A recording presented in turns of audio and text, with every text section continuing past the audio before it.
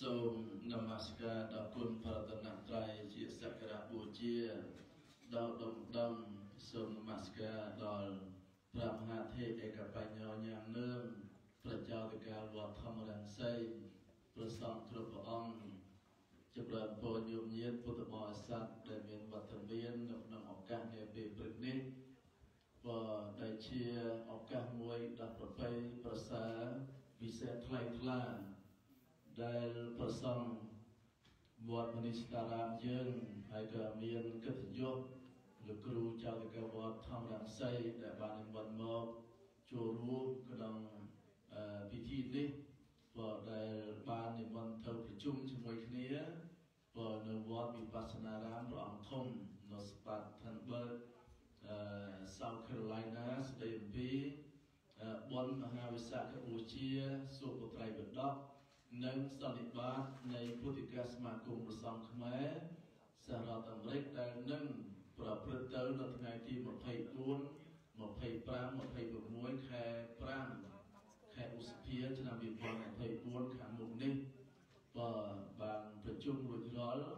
អំពីកម្មវិធីនិងភារកិច្ចហើយក៏បាននិមន្តមកឲ្យទាន់ពេលវេលានៃពិធីបុណ្យទិវាសម្ដេចព្រះសង្ឃរាជ ដែលសម្ដេចព្រះសមេធាធិបតីជួនណាជួតញ្ញាណោសម្ដេចព្រះសង្ឃរាជទី1នៃគណៈមហានិកាយដែលព្រះអង្គជាមហាសមណៈមួយអង្គជាអ្នកប្រាជ្ញក្នុងពុទ្ធសាសនានៅទាំងផ្លូវលោកទាំងផ្លូវធម៌ព្រះអង្គជាវីរៈសមណៈមួយអង្គដែលមានការតបកិច្ចបូជាជីវិតបតថ្លៃថ្លា ទាំងជាតិទាំងសាសនាទាំងមាតុភូមិនឹងអស់មួយជីវិតបើព្រះអង្គជាអ្នកប្រាជ្ញអក្សរសាស្ត្រដ៏ល្បីល្បាញដែលបានរៀបរៀងនិពន្ធវចនានុក្រមខ្មែរសម្រាប់នៅខ្មែរប្រើទូទៅទាំងអស់នៅក្នុងពុទ្ធចក្រនិងអាណាចក្រនៅព្រះអង្គជាសាស្ត្រាចារ្យបាលីសំស្ក្រឹតបើនៅពុទ្ធិកាសិក្សាហើយជាអ្នកគ្រប់គ្រងរៀបចំ បរចនាសម្ព័ន្ធនៃពុទ្ធសាសនានិងប្រសង់ឲ្យមានរបៀបរៀបរយនៅក្នុងសម័យនៃប្រជាណាចក្រកម្ពុជាឬក៏សម័យសង្គមរាជនិយមអឺសម្ដេចព្រះអង្គបានសោយទីមង្គលទៅនៅឆ្នាំ1969បានន័យថាព្រះអង្គប្រសូតថ្ងៃទី11ខែមីនាបើ1000ប្រមាណ1800 83 1883បើត្រង់យាងសយទីបុគតនៅថ្ងៃទី20 25ខែកញ្ញា ឆ្នាំ1969នៅវត្តពុណាឡងក៏កិត្តិស័ព្ទកិត្តិគុណកិត្តិនាមដល់ល្បីល្បាញនៃសម្ដេចព្រះសង្ឃរាជនៅដល់ជាម្ចាស់ជាមួយនឹងសម្ដេចឯទៀតនៅក្រមព្រឹក្សាសុខត្រៃវិដក ដែលជាពិសេសសម័យដែលព្រះអង្គបានស្ថាបនានិងកសាងដែលរៀបចំការសូត្របត្រៃវិដកបើបកប្រែបត្រៃវិដកមកជាបល័យនិងប្រែបើបានចប់សពគ្រប់មុនគេក្នុងពិភពលោកបើបានន័យថាប្រសងខ្មែរអ្នកប្រាជ្ញខ្មែរនឹងបានបកប្រែបល័យមកខ្មែរនឹងមុនគេបើនៅក្នុងពិភពលោកក្នុងបណ្ដាប្រទេសដែលកាន់ពុទ្ធសាសនា ដូច្នេះហើយប្រសងគ្រប់ឋានានុក្រមបើមិនត្រឹមតែវត្តមនីស្តារាមយើងទេបើពុទ្ធបរិស័ទខ្មែរយើងបើគ្រប់ទិទីកន្លែងទាំងឡាយហ្នឹងនៅកັບឲ្យមានសមាធិចិត្តនៅគោរពកត់ក្រែងនៅគុណបំណាច់ដ៏ថ្លៃថ្លាដែលយើងមិនអាចបំភ្លេចបាននៅឧបការៈគុណចំពោះជាតិមាតុភូមិនៅព្រះមហាក្សត្រពុទ្ធចក្រអាណាចក្រនោះដូច្នេះហើយ សំណល់ឬគេមរតកបវណ្ណកម្មគ្រប់សពបែបយ៉ាងដែលសម្ដេចបានសរសេរបានរៀបរៀងជាសភៅជាក្បួនខ្នាតជាថតបទសម្រាប់ពុទ្ធសាសនិកក៏ដូចជាជានាយជនមន្ត្រីរាជការបានសូត្របានគោរពរហូតមកដល់សប្តាហ៍ថ្ងៃបើមានបទសារផាញ់បទគ្រប់ទងជាតិជាដើមដូច្នេះហើយក្នុងឱកាសនេះខ្ញុំកាលណាមកភាព ដែលគ្រាន់តែបញ្ជាក់នៅក្នុងអឺសម្ដេចដែលព្រះអង្គបានសេបានចាហើយក៏តែងតែរំលឹកដល់ពុទ្ធសាសនិកជនយើងដូចជាក្នុងថោកបទសារផាញ់ជាដើមនឹងក៏ដែលព្រះអង្គបញ្ជាក់អំពីសេចក្តីសុខក៏សេចក្តីសុខទាំងឡាយក្នុងលោកយើងនេះក៏មាន សុខដោយកាមសុខជាដើមឬក៏សុខដោយមានភពទ្រព្យក៏សុខដោយការរស់នៅសុខគ្រប់បែបយ៉ាងទាំងអស់ហ្នឹងក៏សេចក្តីសុខទាំងឡាយនេះប្រសាមព្រះព្រះសម្ដេចព្រះសង្ឃរាជដែលព្រះអង្គទ្រង់សម្ដែងទ្រង់មានព្រះជាអង្គការថាសេចក្តីសុខទាំងឡាយនោះមិនស្មើនឹងសេចក្តីស្ងប់ឡើយបើមិនស្មើនឹងសេចក្តីស្ងប់ឡើយណា មានតែសេចក្តីស្ងប់គឺជាសេចក្តីសុខដល់ក្រៃលែងបើដូចជាពុទ្ធដីកាព្រះអង្គទ្រង់សម្ដែងតាមណាថេសន្តិបរំសុខំបើមិនមានសេចក្តីស្ងប់ដែលសុខដតីស្មើនឹងសេចក្តីស្ងប់ឡើយសេចក្តីស្ងប់ក្នុងអឺទីនេះគឺសំដៅសេចក្តីស្ងប់តាមផ្លូវចិត្តជាពិសេសគឺសេចក្តីស្ងប់ខាងផ្លូវចិត្ត បើសេចក្តីស្ងប់ខាងផ្លូវចិត្តដែលមានធម៌មានសិលមានសមាធិមានបញ្ញាបើសេចក្តីស្ងប់ខាងផ្លូវចិត្តកាលណាមានសេចក្តីស្ងប់ខាងផ្លូវចិត្តហើយកាយក៏ស្ងប់ចិត្តក៏ស្ងប់អញ្ចឹងណាអឺសម្ដេចសង្ឃរាជព្រះអង្គបានទេសនានៅក្នុងការសម្ដែងពេលចេញប្រវសាអំពីវិសនាជាដកដែលព្រះអង្គបានបញ្ជាក់ចំណុចអំពី ការប្រព្រឹត្តប្រតិបត្តិនៅកាយវិជាចិត្តនិងសេចក្តីស្ងប់នេះផងដែរព្រះអង្គបានបញ្ជាក់ថាកាលណាយើងបើមានសេចក្តីស្ងប់ដែលមានសេចក្តីស្ងប់ខាងខ្លួនចិត្តបានន័យថាប្រះចាកបើដូចជាមន្ទិលសាមងរាគៈទោសៈមោហៈជាដើមដែលសេចក្តីស្ងប់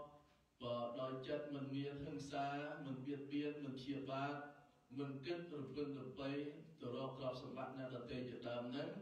បើសេចក្តីស្ងប់ខាងផ្លូវចិត្តហ្នឹងសំខាន់ណាស់ដែលគឺសំដៅថាបើយើងបុគ្គលដែលមានសេចក្តីស្ងប់រួចហើយទៅជាស្ថិតនៅក្នុងទីអាកំបាំងក្តីបើស្ថិតនៅក្នុងទីមិនកំបាំងក្តីនៅម្នាក់ឯងក្តីនៅក្នុងក្រុមវងមនុស្សមនាទាំងឡាយក្តីបុគ្គលដែលមានសេចក្តីស្ងប់នឹង បើតែងតែប្រព្រឹត្តធ្វើទៅសេចក្តីល្អបានទាំងអស់ណាបានន័យថាកាលណាយើងបានន័យថាបើនៅក្នុងសេចក្តីស្ងប់នឹងនៅតែម្នាក់ឯងនឹងណាក៏មានចិត្តមានកាយមានវិជ្ជានឹងគឺប្រព្រឹត្តទៅដោយសុចរិតសេចក្តីល្អហើយនៅសូមបីទៅនៅក្នុងចំណោមមនុស្សផងទាំងឡាយ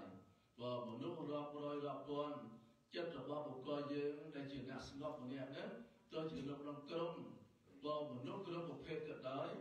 ណាចិត្តរបស់ខ្លួនយើងម្នាក់ហ្នឹងនៅតែធ្វើសេចក្តីល្អណាសម្ដេចសម្រាជបានមានប្រពបន្ទូលអញ្ចឹងណាយល់កន្លែងហ្នឹងណាបើយល់ណា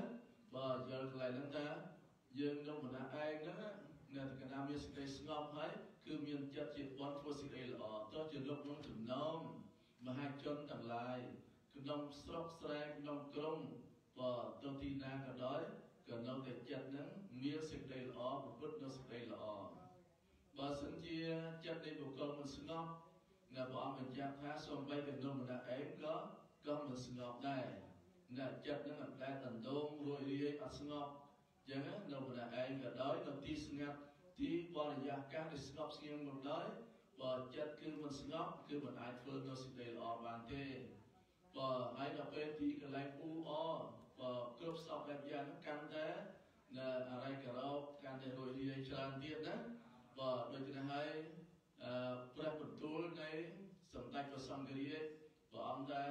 សេចក្តីសុខដតីនឹងមិនស្មើនឹងសេចក្តីស្ងប់សេចក្តីស្ងប់គឺសំដៅទៅលើសេចក្តីស្ងប់ខាងខ្លួនចិត្តបើហើយដល់ណាទេសន្តិបរាំងសុខហ្នឹងព្រះសម្មាសម្ពុទ្ធព្រះអង្គទ្រង់បញ្ជាក់ថាបើសេចក្តីសុខដតីហ្នឹងមិនស្មើនឹងសេចក្តីស្ងប់ឡើយហ្នឹងគឺ បានន័យថាកាលណាចិត្តនៃបុគ្គលអរិយបុគ្គល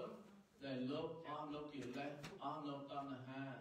បើដល់នៅអរិយមគ្គដល់នៅអរិយផលបើសេចក្តីស្ងប់ទាំងឡាយហ្នឹងគឺជា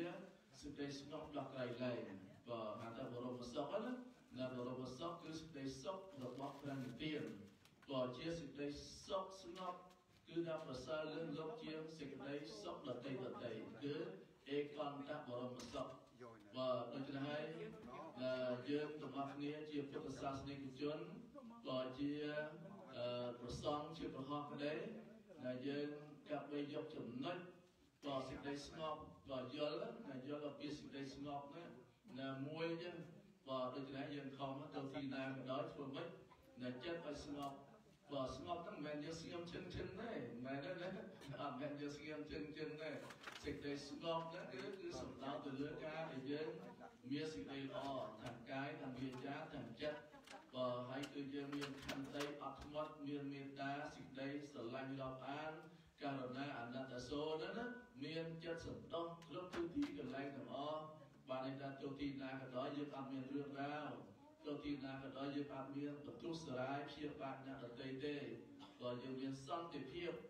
បើមានសន្តិភាពភាពតែសន្តិភាពណាប្រែតែភាពស្ងប់ណាស្ងប់បើនៅក្នុងពុទ្ធសាសនាបើសំដៅទៅលើសេចក្តីស្ងប់ដូចបានលើកឡើងអញ្ចឹងប៉ុន្តែយើងថាសន្តិភាពណាប៉ុន្តែយើងយើងខាងក្រៅដែលយើងចាក់ដោតគ្នា ខាងក្រៅយើងបៀតបៀនគ្នា ខាងក្រៅយើងចាប់ចងគ្នា ខាងក្រៅយើងបន្ទុះសារាយ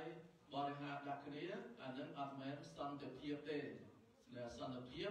គឺប្រែតែភាពស្ងប់បើក្នុងពុទ្ធសាសនាណាភាពស្ងប់បើមិនមានអឺបន្ទុះប្រទាំងបើកាប់សម្លាប់គ្នាកាប់សម្លាប់គ្នាណាអានឹងគឺតែចិត្តល្អដែលញោមញាតពុទ្ធបរិស័ទណាសូម្បីតែយើងរៀននៅក្នុងសិល5ណាបើសិល5ហ្នឹងបើមិនសម្លាប់សត្វមិនលួចទ្រព្យគេមិនបន្ទុះសារាយ កូនចៅនៅតេមិននិយាយកុហកមិនផឹកសុរាបើខទាំង5ហ្នឹងហើយជាសន្តិភាពបើគេដែរបើសន្តិភាពខាងផ្លូវកាយណា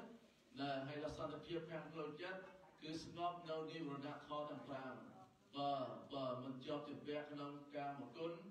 មិនព្យាបាទមិនខ្ជិលជាអូមិនរយរាយមិនអឺសង្ស័យជាដើមបើវិជាកិច្ឆាអានេះគឺជាសេចក្តីស្ងប់ខាងផ្លូវចិត្ត ហើយសេចក្តីស្ងប់នៅក្នុងបញ្ញាគឺបានន័យថាបញ្ញាដកចេញបើដកចេញនៅឧបាទានតណ្ហាបើកិលេសគ្រប់សពបែបយ៉ាងបើជាអកុសលមូលណាបើលោភៈទោសៈមោហៈជាដើមបើនេះគឺជាសេចក្តីស្ងប់របស់ព្រះពុទ្ធជាម្ចាស់ដែលព្រះអង្គបានសម្ដែងប្រាប់ដល់យើងជាពុទ្ធសាសនិកជនទាំងអស់គ្នាដើម្បីបប្រតិបត្តិស្វែងរកនូវសេចក្តីស្ងប់ក្នុងបច្ចុប្បន្នជាតិផងក្នុងបរលោករហូតដល់ ដល់អីដល់បរមសុខគឺព្រះនិព្វានសូមអនុមោទនា